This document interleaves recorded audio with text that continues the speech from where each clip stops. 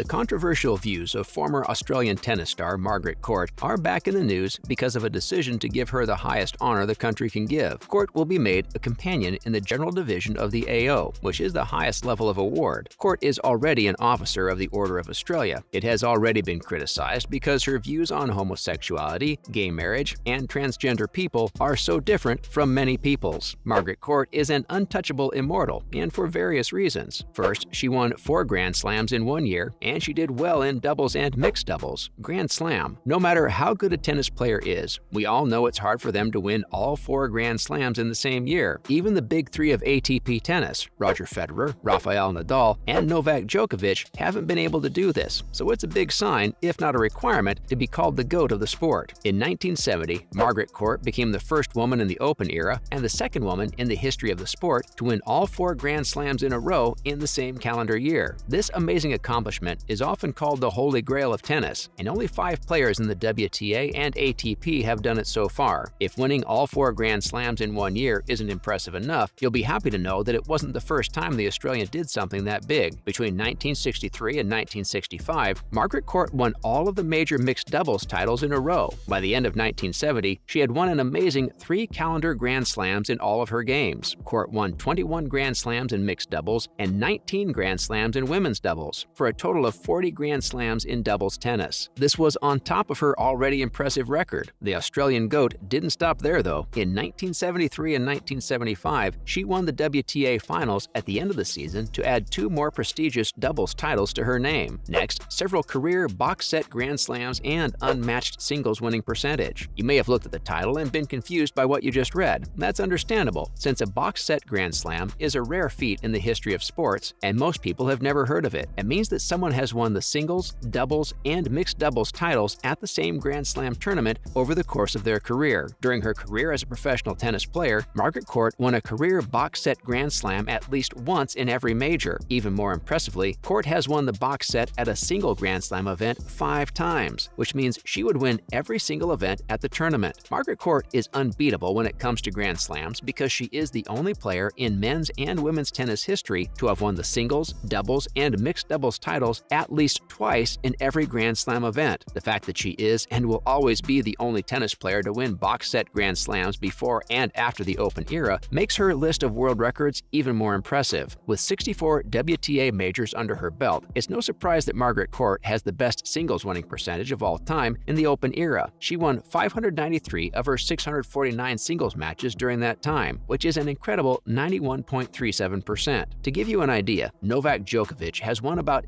83.16% of his singles matches, which is the most of any man who has ever played tennis. Last but not least, she had a strong body, played well, and trained well. Margaret Court's unmatched success has been helped by a winning combination, her natural body, which has been greatly enhanced by her choice of playing style and dedication to training. Avoiding injury as much as possible is often overlooked as a key to success in tennis. Unfortunately, many players with great potential have been held back by injuries, which have sometimes ended their careers. Margaret Court was known as the Aussie Amazon because she worked out hard and was one of the few women who did things like lift weights, do circuit training, and run up sandy hillsides. Court's training not only kept her from getting hurt for most of her career, but it also helped her make the most of her body. The Aussie was a serve and volleyer who was sneakily fast on the court. She had a longer reach than most people and was taller, stronger, and bigger than most. Since 23 of her 64 major career titles were won at the Australian Open, and she was Australian, it makes sense that one of the best tennis stadiums in the country was renamed Margaret Court Arena in 2003 to honor Australia's best female tennis player ever. In fact, there has never been a player like Margaret Court. Serena Williams has come close to matching her Grand Slam singles record, but trying to beat the Aussies' doubles records is a whole new set of problems that are unlikely to be solved in the near future. So why is she so controversial? Court, who is now 78 years old, is a Pentecostal minister at a church in Perth. Over the past few years, she has been criticized many times for being outspoken about the LGBTIQ community.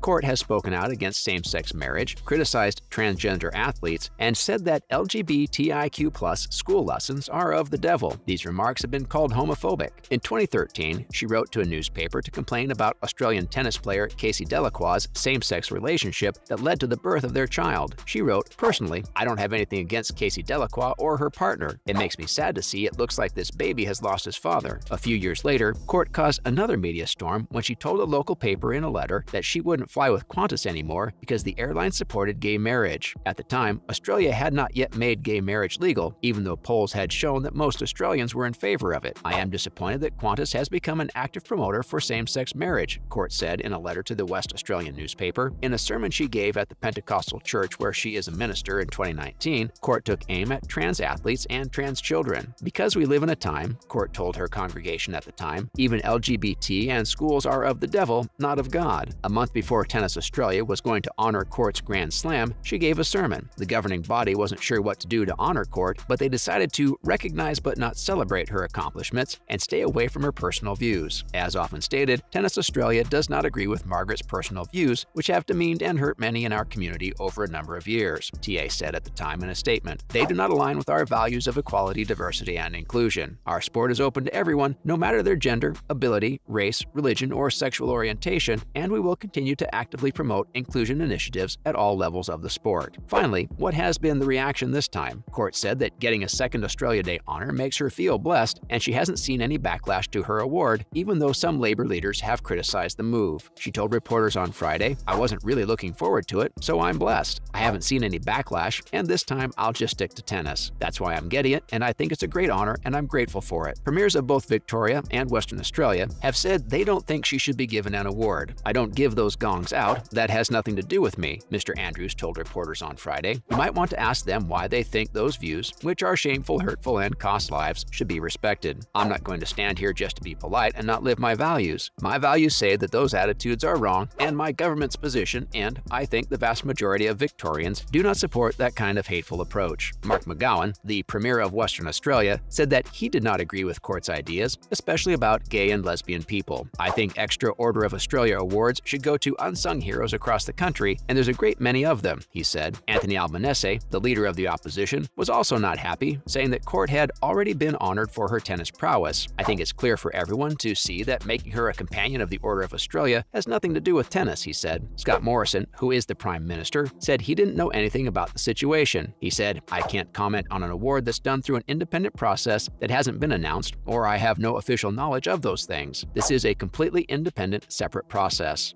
Unfortunately, guys, that is all the time we had for today. Make sure to like and subscribe to the channel. Till next time, cheers!